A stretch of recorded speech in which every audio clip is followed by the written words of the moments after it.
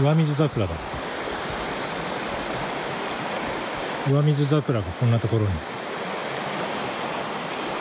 これ山菜の一種ですね。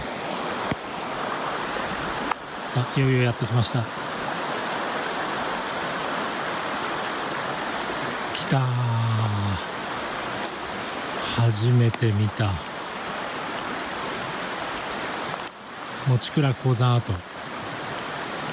いや人がいるかなと思ったけど今日は誰もいないみたいですね。黒いレンガ。すごい。精錬所跡。向こう側に向こうにもちょっと建物が。本当はねここドローン飛ばしたかったんだけど今日はドローン持ってきてないです。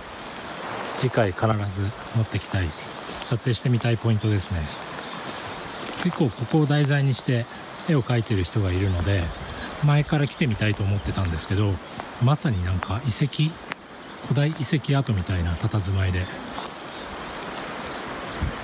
これから暖かくなってくると多分アブとかハチとかクマとか結構出てきちゃうんでなるべくその寒い時期限定のポイントっていう風に考えてたんですけど今日はすごく天気が良くてね快晴です。真っ青な空の下なかなかいい感じの。